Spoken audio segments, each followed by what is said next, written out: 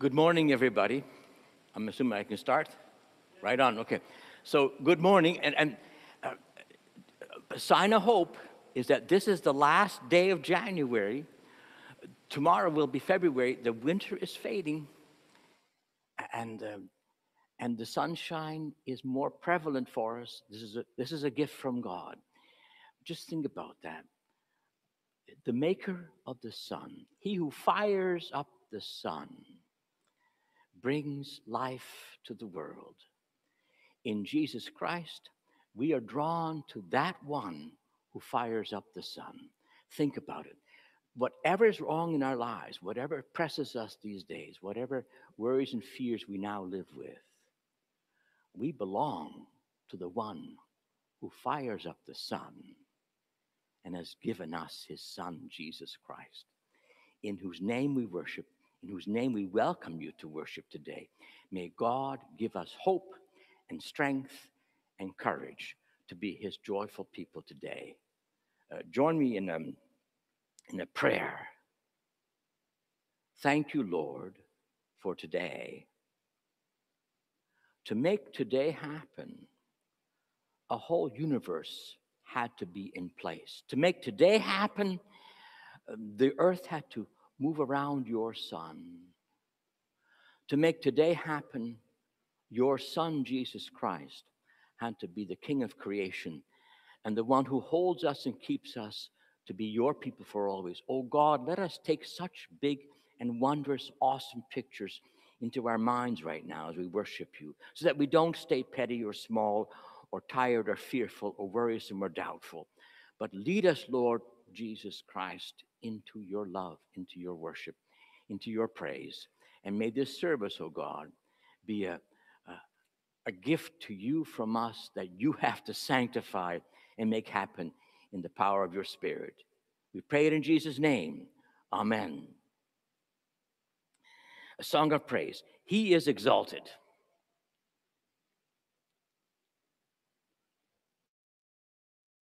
He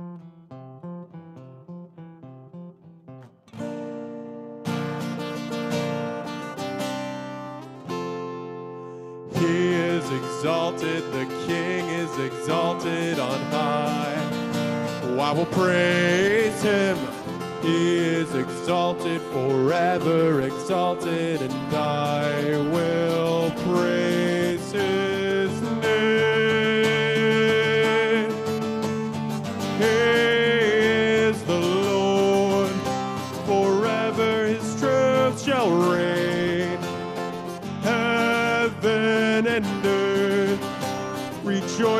in his holy name He is exalted, the King is exalted on high.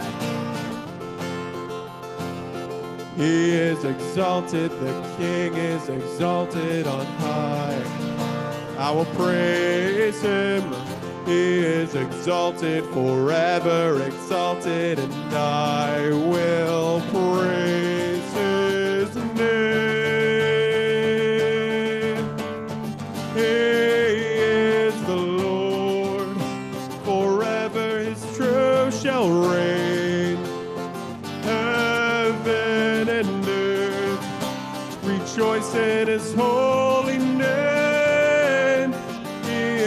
exalted, the King is exalted on high.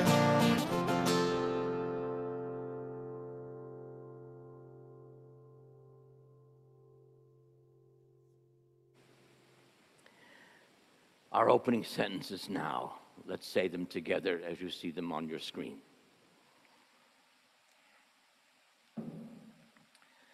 we come into the presence of our faithful God. Help us remember your acts of grace and providence. Our Lord is true to his word and comes to us in compassion and grace. Let us hear then of your steadfast love. In you we put our trust. The eyes of all look up to you for all our needs in worship and in all of our lives. We will praise you and walk in your presence, O Lord. May your spirit lead us to do your will, for you are our God.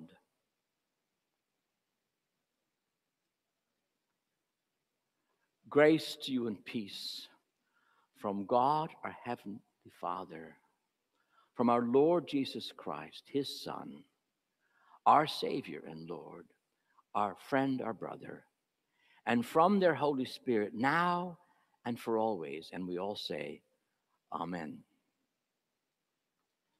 A song of praise, mighty to save.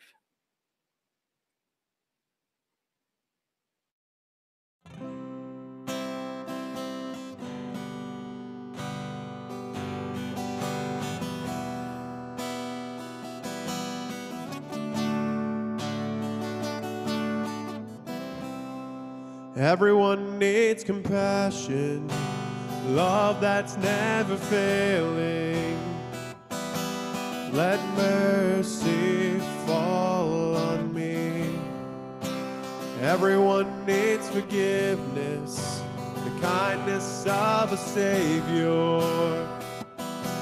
the hope of nations.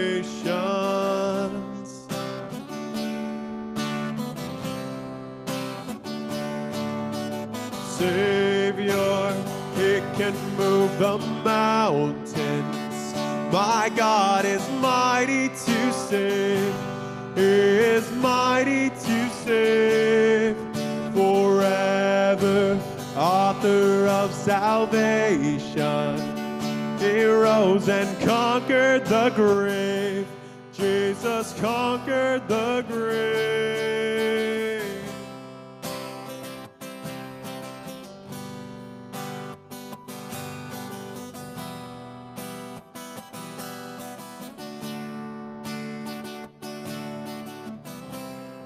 So take me as you find me, all my fears and failures.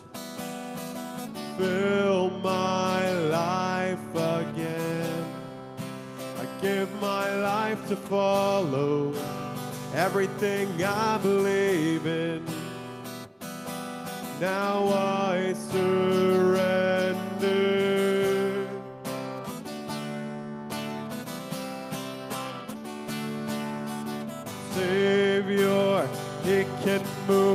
Mountains. My God is mighty to save.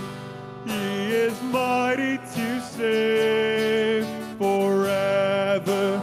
Author of salvation. He rose and conquered the grave.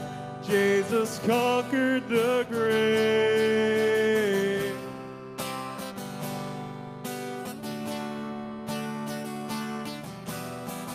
Shine your light and let the whole world see. We're singing for the glory of the risen King. Jesus, shine your light and let the whole world see. We're singing for the glory of the risen King. Your he can move the mountains. My God is mighty to save. He is mighty to save forever. Author of salvation. He rose and conquered the grave. Jesus conquered the grave. Shine your light and let the whole world see. Singing for the glory of the risen King. Jesus, shine your light and let the whole world see. We're singing for the glory of the risen King.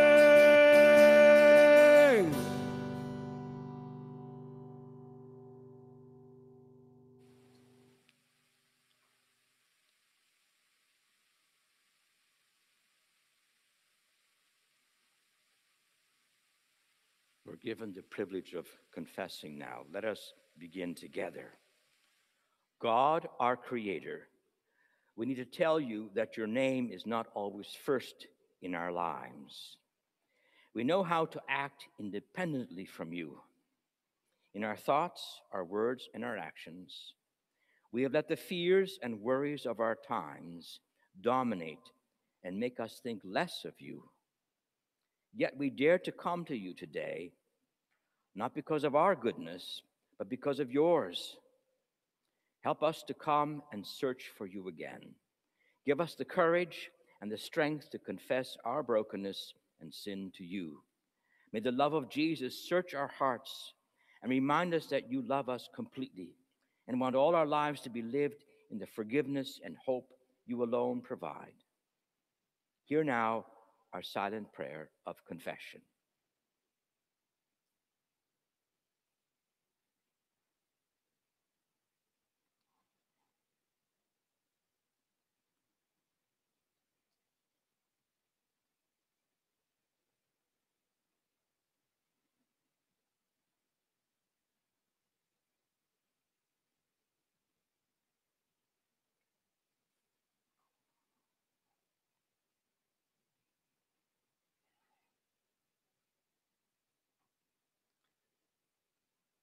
Now, then, the declaration of pardon. How wondrous that the creator of the universe listens to the prayers that we offer. How gracious that our confession is met with forgiveness. Lord, we are thankful for your Son, our Savior and Lord. We rejoice in your forgiveness and in your sustaining spirit of grace in all our lives. A song of commitment.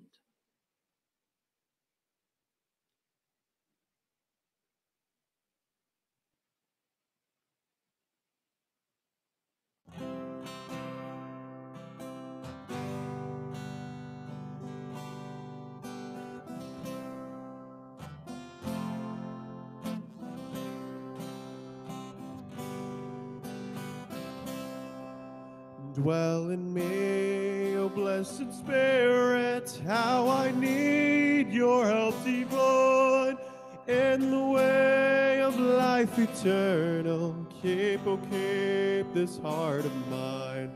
Dwell in me, O blessed Spirit, gracious teacher, friend divine, for the kingdom work that calls me. Oh, prepare this heart of mine. Grant to me your sacred presence, then my faith will ne'er decline. Comfort me and help me onward, fill with love this heart of mine. Dwell in me, O blessed Spirit, gracious teacher, friend divine, for the kingdom work that calls me. Oh, prepare this heart of mine.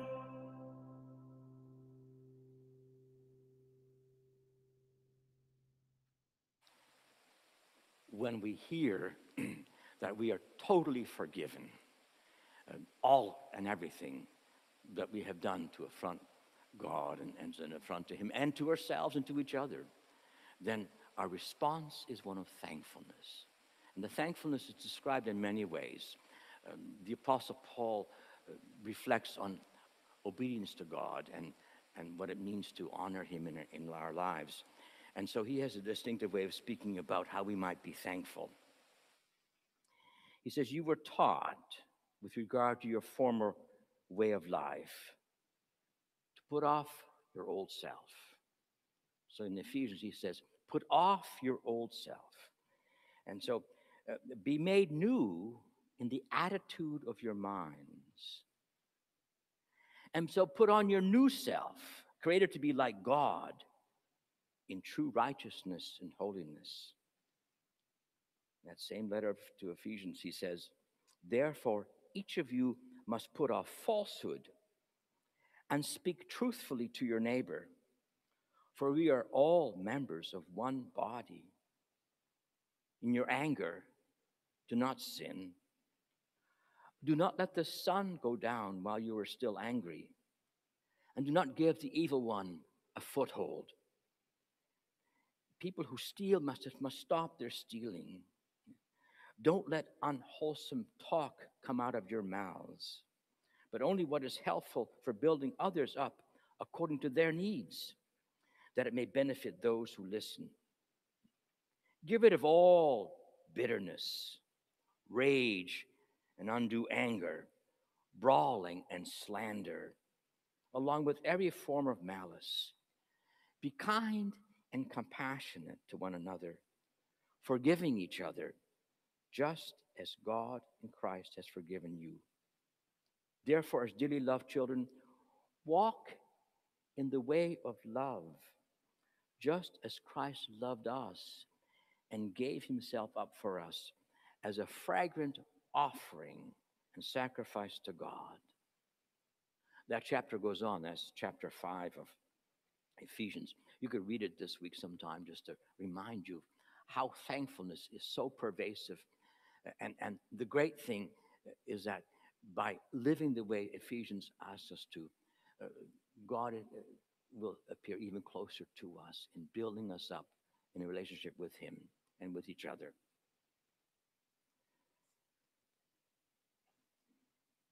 We're going to now uh, offer our lives in, um, in prayer to, to God.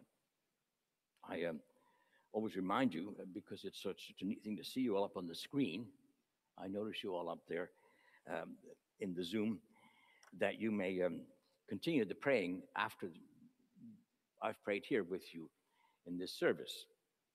That is to say that uh, you can get more personal there.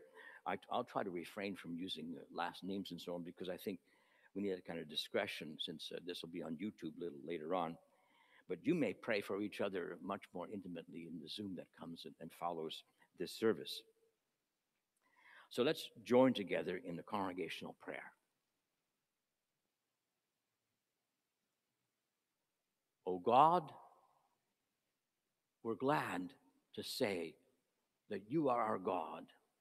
We don't say this from our own power.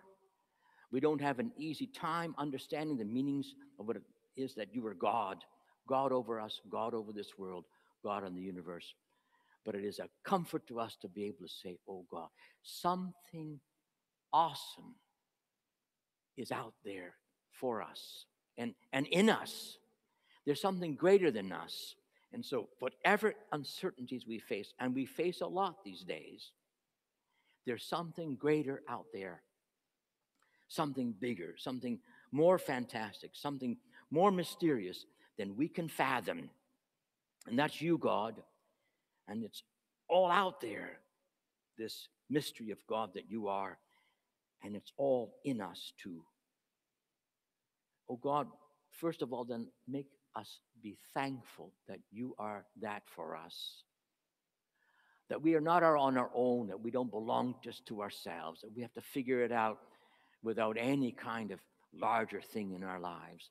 It is you, O oh God, that holds this universe, this earth, our places where we live, our homes, our relationships, each individual too.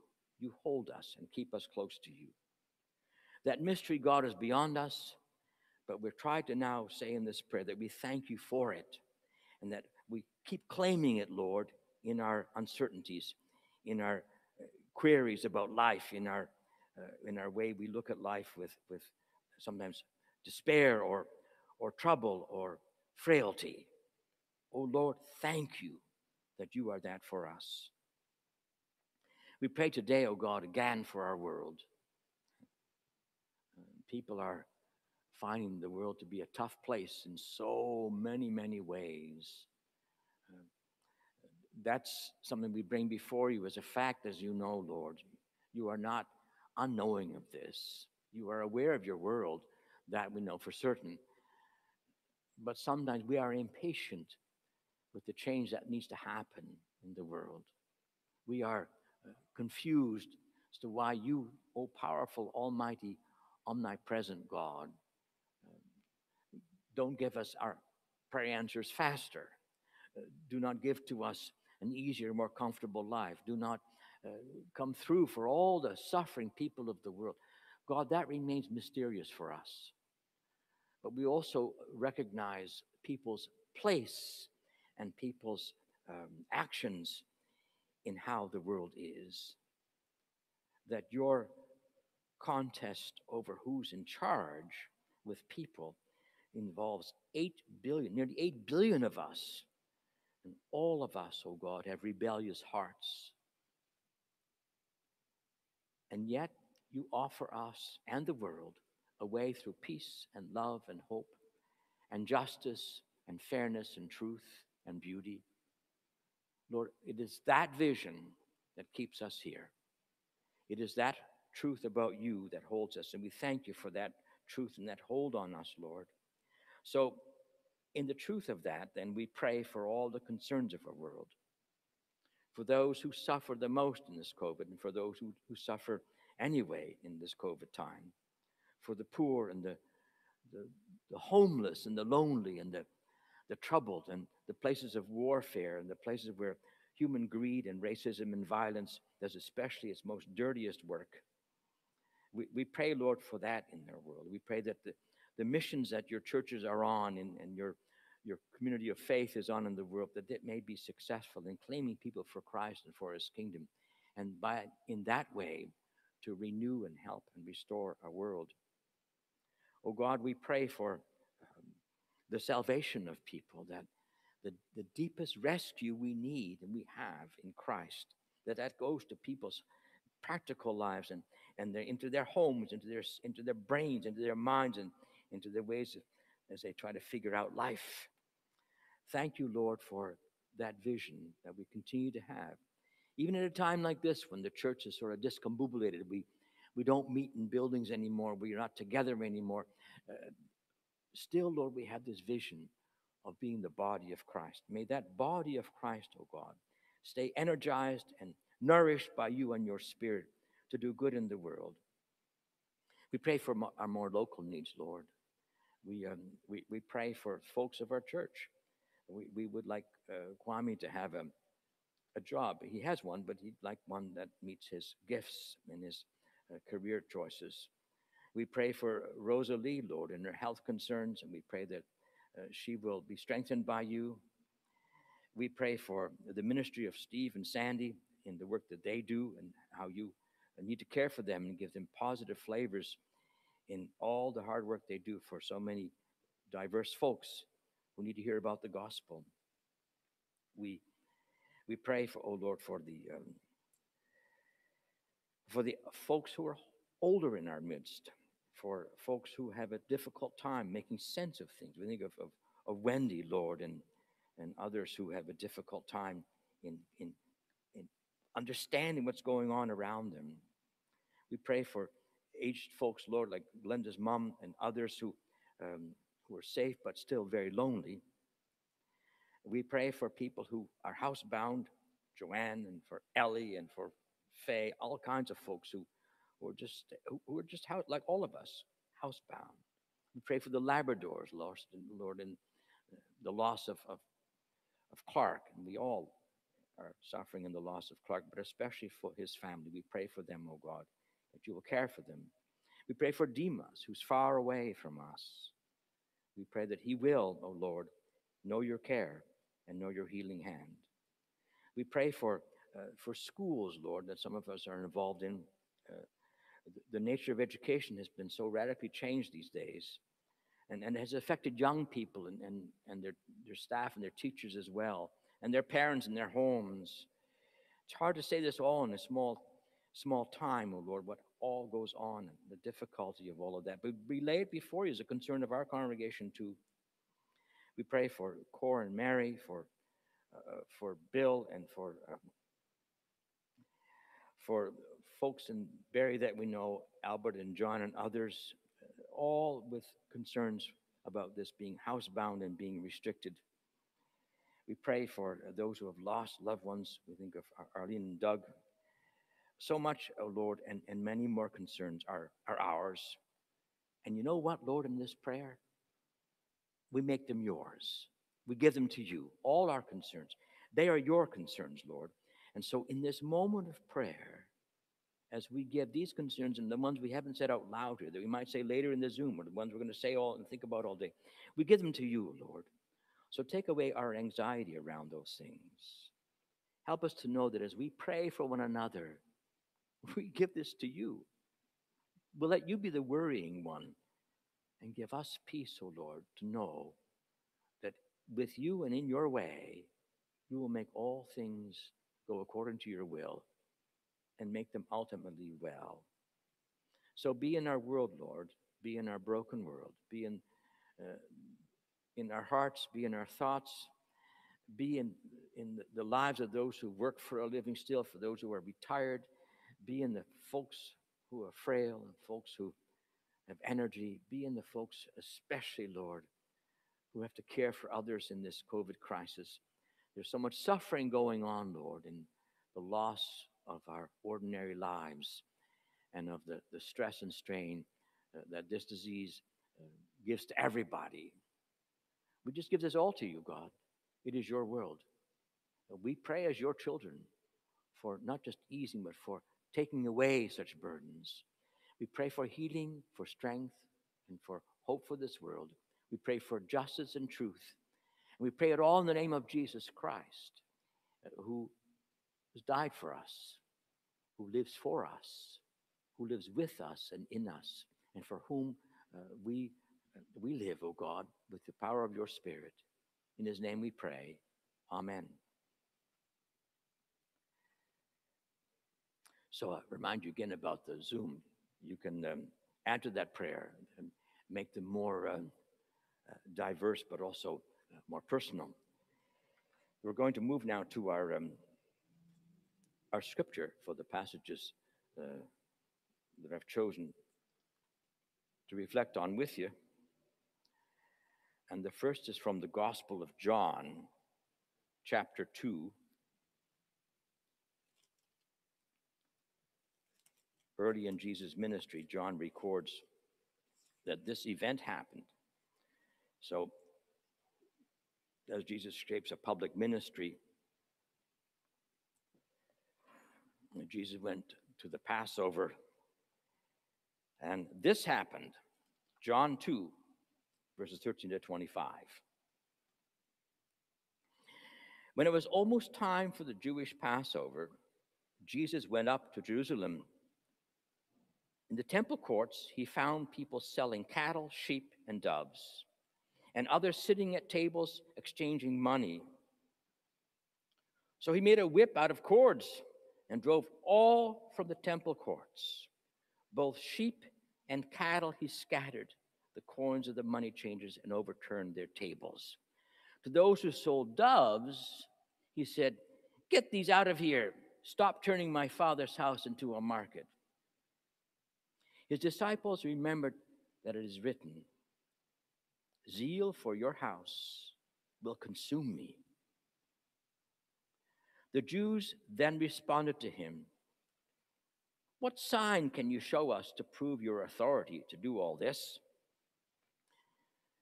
Jesus answered them, Destroy this temple, and I will raise it again in three days. They replied, It has taken 46 years to build this temple, and you are going to raise it in three days? But the temple he had spoken of was his body. After he was raised from the dead, his disciples recalled what he had said. Then they believed the scripture and the words that Jesus had spoken. Now, while he was in Jerusalem at the Passover festival, many people saw the signs he was performing and believed in his name. But Jesus would not entrust himself to them, for he knew all people. He did not need any testimony about mankind, for he knew what was in each person. Now we're going to move to um, 2 Corinthians chapter 5, further reflections from the Apostle Paul, beginning at verse 1. 2 Corinthians 5.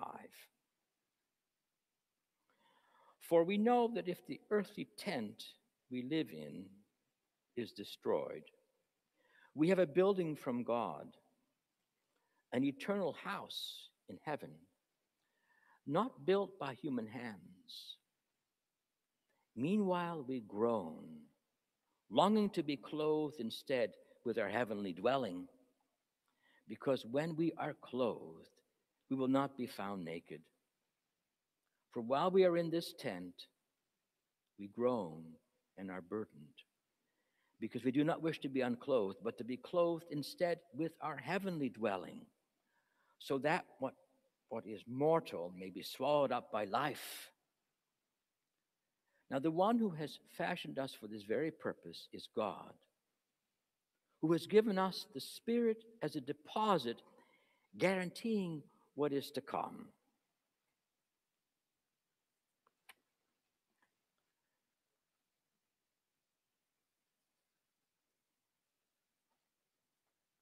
So we've had pictures of both the prime minister and the premier of the province who make it a very urgent command stay home. That's their imperative. And so staying home is, a, is what we're told to do and to where to be in a time like we are in right now, as you, as you well know. I hardly have to remind you what that all means to stay home. Home, they say, is the safest place uh, where, uh, where you'll have the least trouble with this uh, COVID time, this disease, this virus. Uh, it, it made me think of another time. Oh, very, very long ago, when there was another command, in a sense, to stay home that that came, maybe you aren't prompted the way I was somehow, but I, I'll read it to you just so that you get what I'm talking about. A long time ago, an ancient Israel was told to stay home.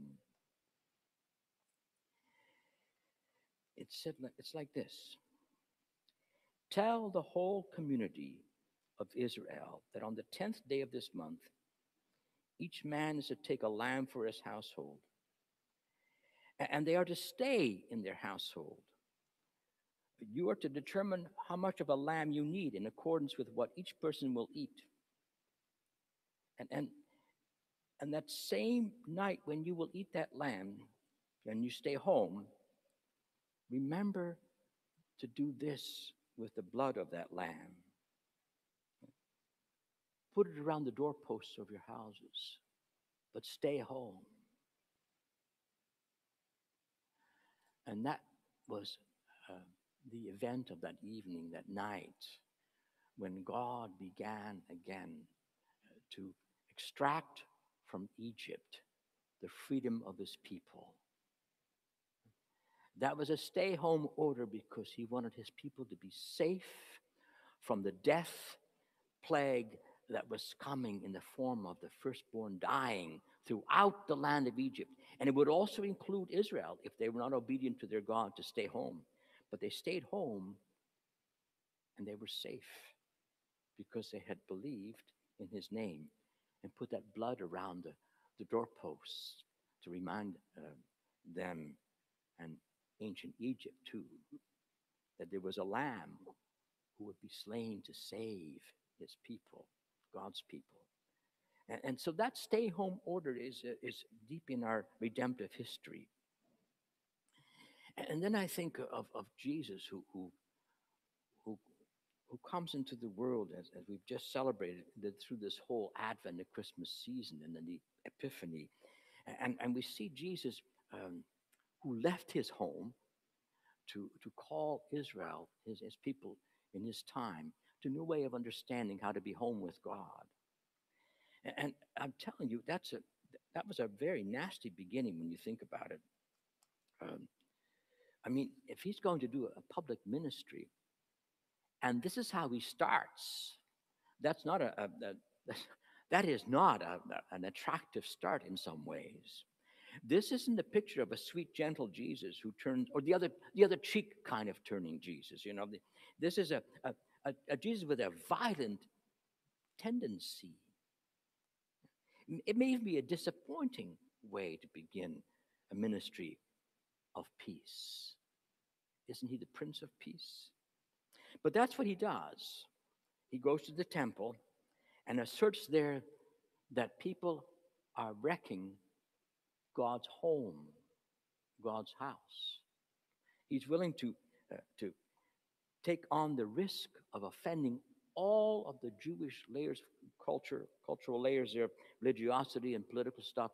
He's willing to upset the entire, well, not apple cart, the entire temple economics, the buying and selling of goods, the, the making of money on the worship uh, scenes and, and places. And, and, and he's willing to, to un, undo what's become so common and customary in the place.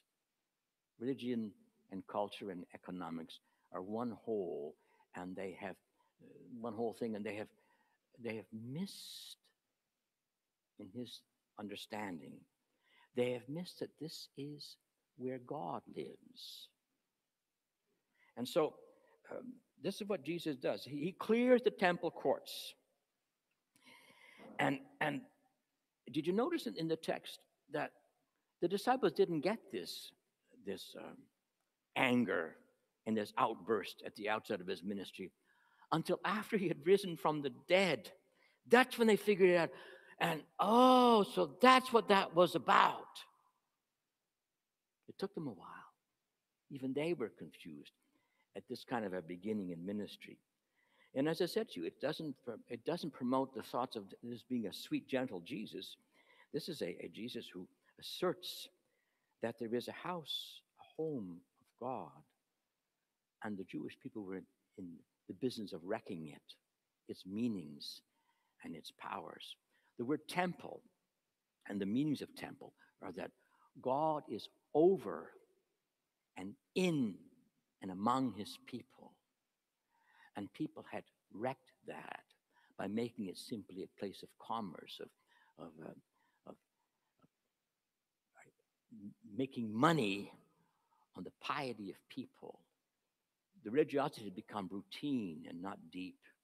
They'd missed the point that in that temple that took 46 years to build, there God met his people and encou- they encountered something of his holiness there and something of hope and forgiveness there and something of that covenant making that he still was willing to do with this, such sinful people in a time of, of Roman, uh, Roman rule that was still possible. But they had, they had missed it entirely and it become just a just custom and, and a, a sort of a, a regular dreariness, if you will, the buying and selling of thing of creatures to sacrifice. And he's, he points out especially the dove, the dove sellers, the, dove, symbol of peace then and, and even now.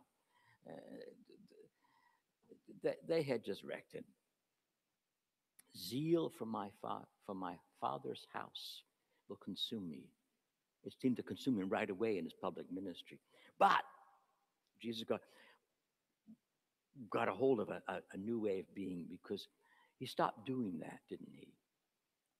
He, he, he started out with a bang like that. And as he moved towards his own giving of his life for the people of God, um, he, he stopped being that way. And you sense in the movement of his life that what he tried to say, that he is the body, as discovered, as, as, as, as the disciples discovered, that the temple is his, he is the body. Uh, Jesus is the, the temple of God in among the people. It's a deeply theological understanding that they only grasp later on, that we are ourselves a difficulty with at times, that Jesus is, is God's place in the world, that he is the temple of God given to us. And that, of course, as you know, that's what happens in, in, in books like Paul's Corinthian letters, that we then become that body of Christ. You see how layered that gets?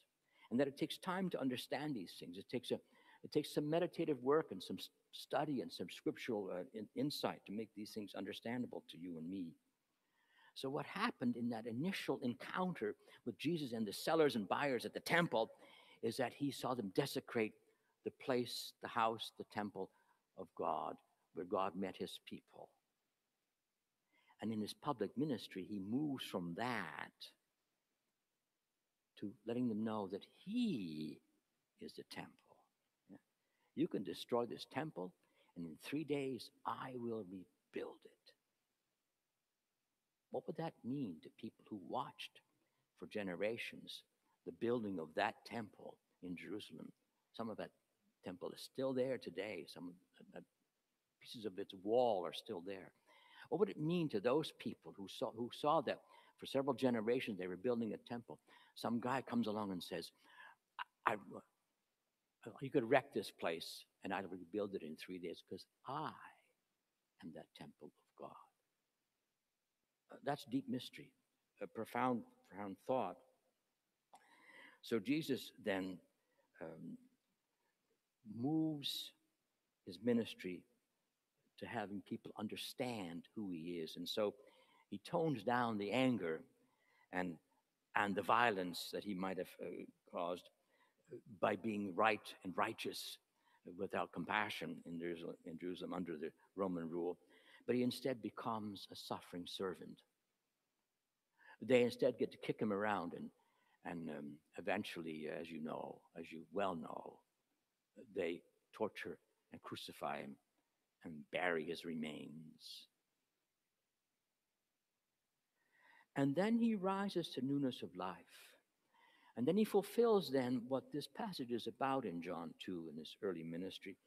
And, and, and then later on passages in like in the book of John quoted in chapter 14 when Jesus says if, if you if you follow my father and my, and my commandments then my father and I will make our home in you We'll make our home with you. He draws people into the meanings of this home, this, this house building, this home building uh, that way. And then, and then comes that passage from Paul in Corinthians as he interprets all these things in this history, uh, and where he talks about how we live in this world in an earthly dwelling, our tent, but that we are uh, destined for a heavenly dwelling and says, God has fashioned you for that very purpose to be connected and dwelling in a home that He makes for us, a, a home that is beyond our deepest understanding. This connection that God has with us and we with Him in the work and power of Christ by the, the liberating truth of the Holy Spirit. In fact, He says, I will give you this spirit, writes Paul in, in 2 Corinthians 5. I'll give you this spirit as a guarantee that it's so. In other words, not your understanding, not your good behaviors, not the way you build up the Christian faith or the way you, but I will give you the spirit as a guarantee that what is said about Jesus, who is the temple of God, that you also are the temple of God. In you will be the Spirit of God. You will be God's temple as well. See why that takes some thinking and some reflecting. It's deep stuff.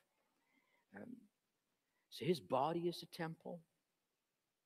We are his temple. And God, in this moment of Jesus' ministry, undoes the whole idea of sacred buildings and hierarchies of, of who's, who's uh, highest in the kingdom or who's highest in the religiosity. And the buyers and sellers have to know this that religion, religion is about, if it's true, it's going to be deep and, and honest and the right thing, has to be about being home with God, God home with you. There's so many mixed picture, mixed picture, pictures, pictures here in this um, scriptural reflection that we're doing this morning. They're layered meanings, but it means that what God had intended for ancient Israel that Israel would be home with God, God would be home with them. That temple was a, was a sign of that. Is now fulfilled in Christ. And what God has intended for the world and for the church with Christ, He now gives to the church as a picture of, of the church that we are God's home on the world. We are going to be in God's home for always. We are, we are called to stay home that way. We are the temples of the Holy Spirit. Paul writes in Corinthians 5 that we read that we groan in these earthly tents, and boy, do we ever. Uh, the, the, the homes that, uh, and the houses that, that are, are human, human made, and, and, and that where people are, have only those concerns, there's a groaning going on. And It, I suppose it's especially underscored in COVID times that home can be a terrible place for some people. The abuse that goes on there sometimes, the worries and the fears uh, in, in, in human homes. Uh, we bring home all the stuff of life that hurts, that wounds. Uh, It's, it's beyond one sermon. It's beyond one way, just a few thoughts to capture all of that. But you can imagine how tough it is, especially during COVID time, uh, for people if your home life isn't happy, if, if relationships are broken, if marriages are, have gone sour, if, if children get abused, if the, the schooling that goes on in the home now isn't, isn't good or isn't regular or isn't, a, isn't a, a, a good process for the students or, or the teachers. I mean, our home life is so deeply structured these days and, and so necessary for fighting this, this COVID virus, but it can also be such a stressful time. That groaning is what we could uh, use today as a way of describing that. So here's what we're offered today in the sake for the gospel again that our God invites us home to his place. Or deeper yet, as I said to you from Jesus' own words, my Father and I will make our home with you. That Jesus and God come to make us their home. Have you thought of that? When you think about your life or your value or your or who, how you think about yourself or or or when you're you're choosing words or economies or when you're trying to live and you're trying to take care of your body or your uh, um, or, or when you're you're you're thinking and speaking your attitude the tone of your voice the kindness or the lack of it the compassions or the lack of it that that you are where god wants to be at home have you thought of that is isn't that an awesome thing that he wants to make his home in us. And he invites us home all the time, doesn't he? We're, we're constantly asked to come home, be home with him. This is the gift of, uh, of the, the, the scriptures, the ancient scriptures, and the gospel, and Jesus Christ and their spirit. Uh, to stay home, be home, and make a home uh, for yourselves and others, and uh, and share that with others in the world. That uh, have, invite others to a homecoming, if you will. That's the, what we do with that gospel good news. That its intent is to to make the home of God larger, that all in the world could be His. All kinds of folks, ethnicity and cultural differences, all diminish in this homecoming He invites us to. What are you doing in your prayer life, in your scripture reading life, in your acting towards neighbors, in your being uh, Christ followers and people who have a home for God inside themselves and people who are invited into God's home? What are you doing in those layers of life? I'll leave you with that question uh, as we think about the command to stay home, stay home with God. But I'm going to read you this as a closing thought. It comes to us from Psalm 84. And this is an ancient prophet's, uh, this is an ancient song that the people sang about being home with God. And, and maybe read the whole psalm when you get time this week or today. I'm just going to read the verse, uh, first five verses of it. But this psalm exemplifies this lovely, awesome invitation to be home with God and to have uh, that, that home spirit and hope and joy with them in you and that you're on your way to. Here's Psalm 84. How lovely is your dwelling place, Lord Almighty.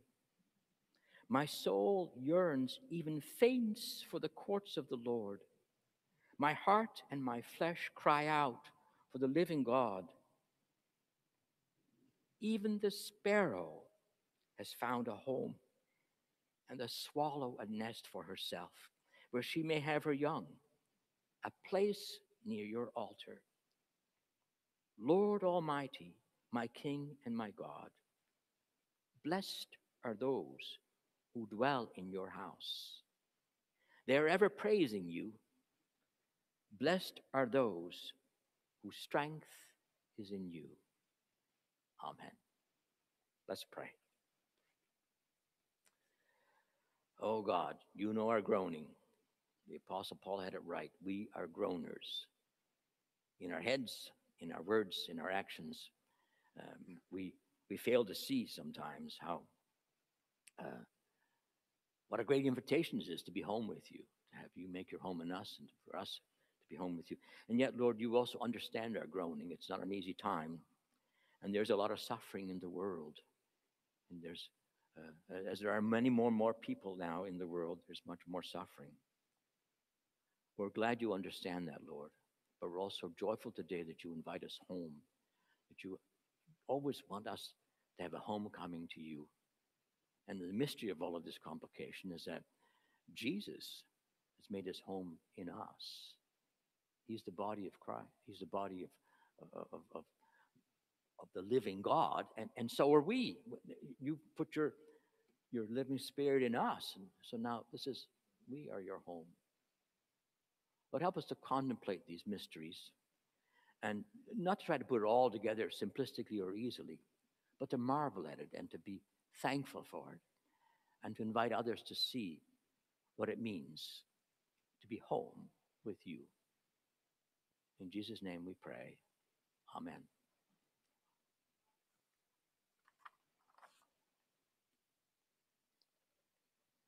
There's a song here that will now be sung with you. If you but trust in God to guide you.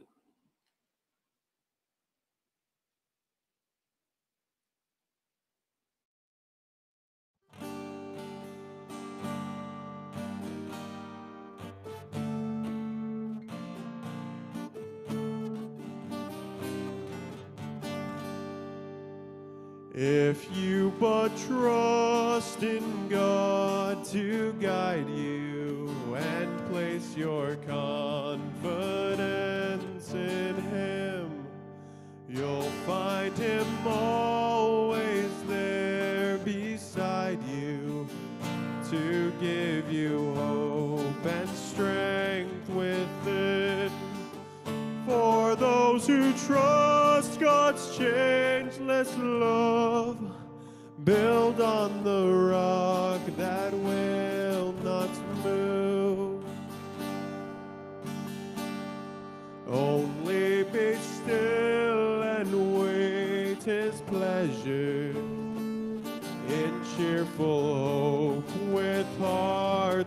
content.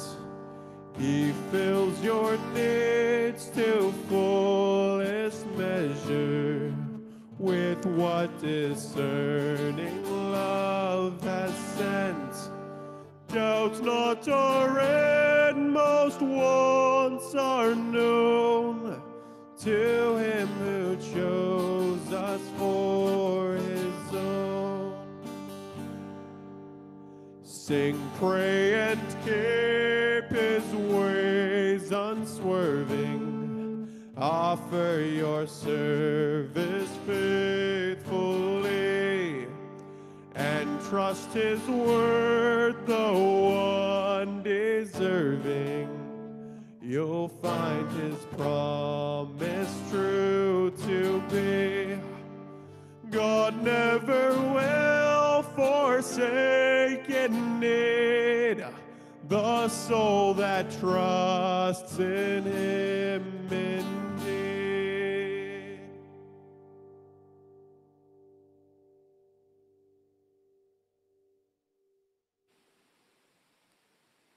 ancient Israel and Israel in the time of Jesus and the church throughout the ages. And you and I may know today this truth from the Apostle Paul. For we know that the earthly tent we live in is destroyed. We have a building from God, an eternal house in heaven, not built by human hands. That's the invitation to be home with God.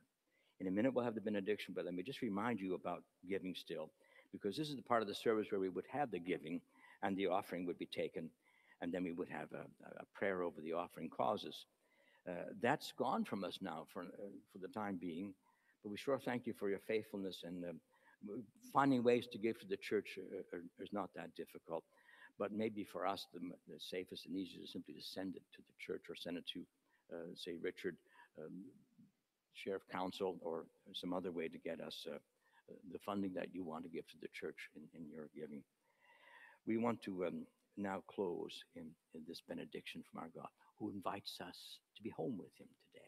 So, in your homes, or if you're not in your homes this week because you're out having to do things, important things that get you away from home, uh, as the premier and the, and the prime minister said, stay home as best as you can, but especially hear God's offer and command to stay home with Him. The grace of our Lord Jesus Christ, the love of God our Father, and the power of the Holy Spirit, may that bless you and keep you home with Him always. And we all say, Amen.